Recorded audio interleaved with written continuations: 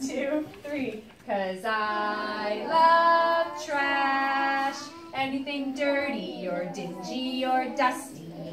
Anything ragged, orangey, or rusty.